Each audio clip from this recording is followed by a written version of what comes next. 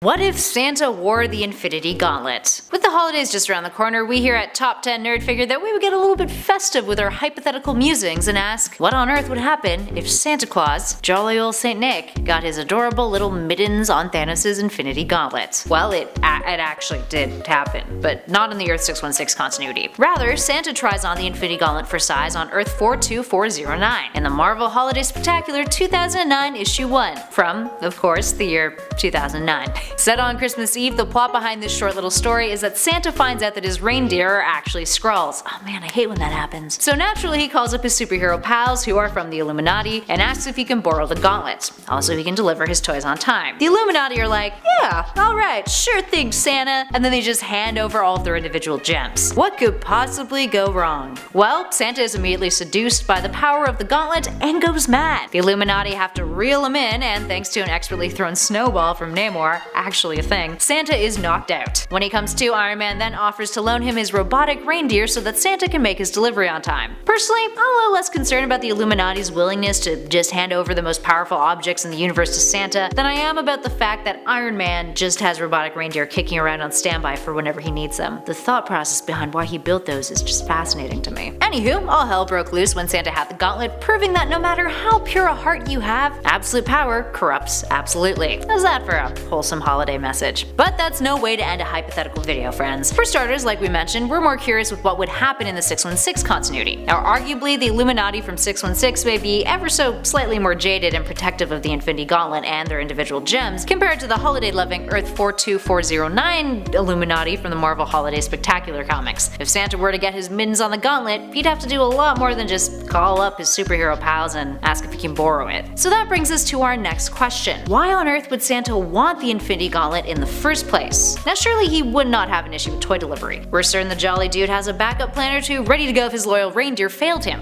or if they turned out to be Skrulls. But why would the Skrulls do that? So if Santa wanted the Infinity Gauntlet, it would be for a desire for sheer power. But is that a thing that the Earth 616 Santa Claus would ever really want? That is a question I never thought I'd ask. Now according to 616 lore, there's a source that suggests that Santa is derived from Asgard's Allfather Odin, with Odin centuries ago leaving behind meat and gifts for humans during the Midwinter's Feast. Now that's never actually been confirmed though, especially since during World War II on 616, Santa makes an appearance in 1943 when Hitler captures St. Nick in order to destroy the USA's morale.